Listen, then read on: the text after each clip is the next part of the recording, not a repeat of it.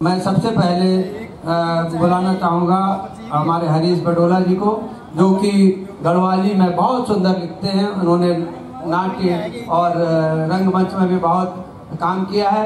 तो हरीश बडोला जी को मैं सादर आमंत्रित करता हूँ। जोरदार तालियों से बडोला जी का स्वागत करें। आभार चंद्रा जी। मंच पर विराजमान सभी सामने की खाली कुर्सियों को बढ़ा शुरू शुरू में विचार आया था। एक मिनट में आपको बीच में टोकूँगा।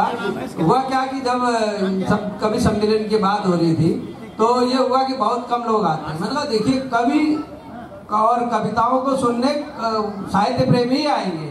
अगर दस बीस भी हमको मिल जाए तो हम उनके बीच सुनने वाले तो हम तो ऊपर बैठे वही हैं मैं आप बाकी जो प्रेमी नीचे बैठे हैं उनका तो हम कोट कोट धन्यवाद ज्ञापित करते हैं। कवि को या कभी दो चीज़ों का भूखा होता है। एक समय और दूसरा श्रोता। अपनी कविता शुरू कर रहा हूँ।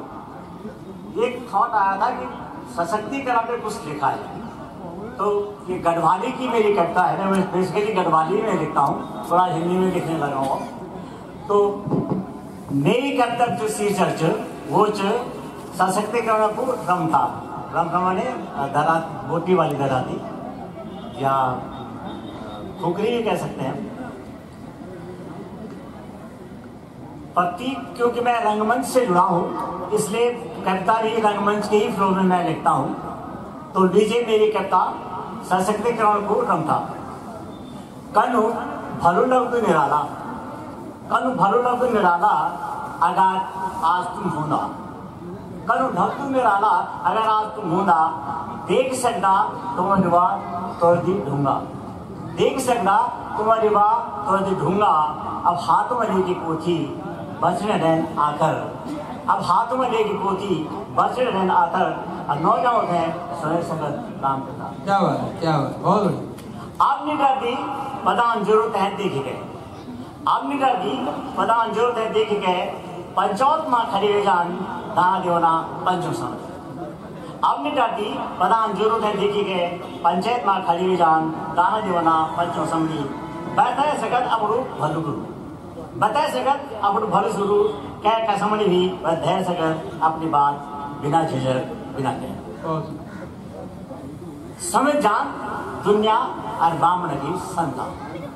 समझ जान दुनिया और बामण की संता और पूरी जा की अलझेन समझ जान दुनिया और बामण की संता और पूरी जा की अलझेन तो झट सदगुरु लगी निकाले है दिन पुराण की किताब नौज जय को निर्णय से। क्या बात है, नौज क्या को निर्णय से। बहुत सुंदर। एक अंतिम पंक्तियाँ हैं इसकी। ठंडा नहीं है। ठंड में हाथ निराला अब मौल गए। ये कंपेरिजन है बहुत पुरान का और समय का। निराला अब मौल गए। हाथियों और खुटियों का गहरा गहरा पिड़ादा धर का। निराला अब मौल गए हाथियों और खुटियों का गहरा गहरा पिड़ादा धमका। अब रूम का माँ की जोगी।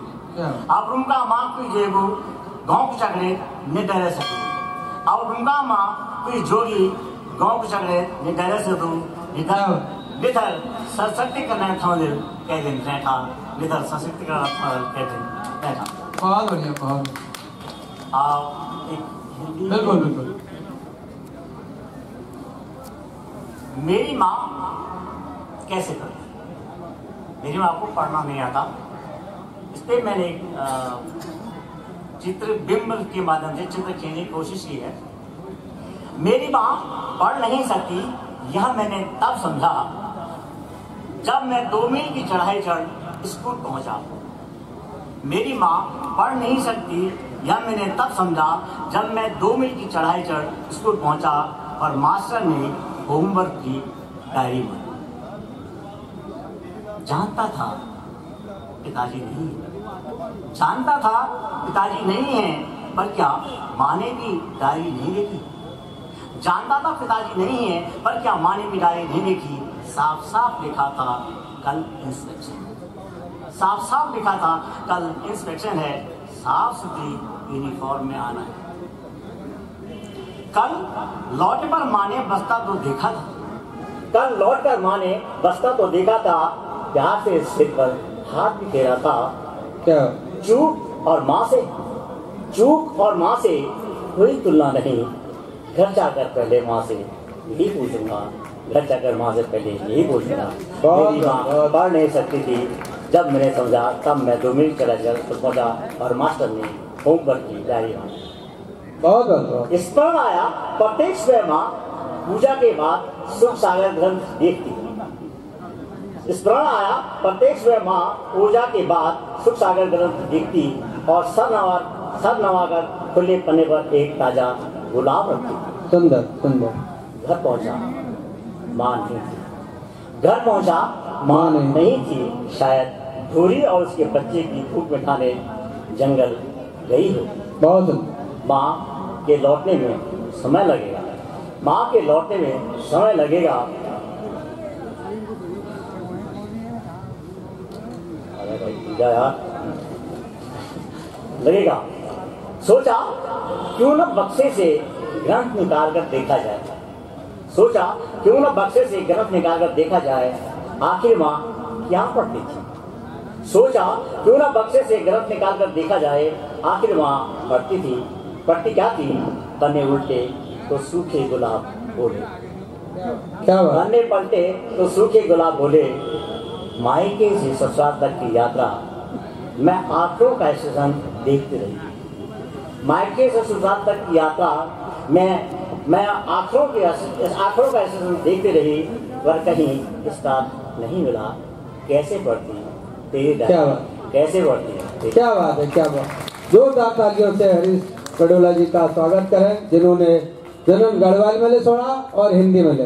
तो हम लोग ले, मिले बीच में भी कुमाऊनी ले बोलते रहो, बीच में हिंदी ले बोलते रहो।